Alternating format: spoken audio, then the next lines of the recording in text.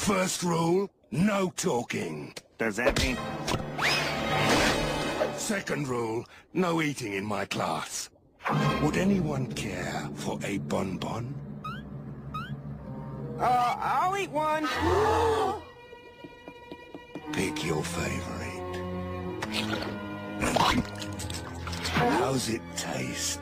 It's a delightful taste sensation. No eating in my classroom!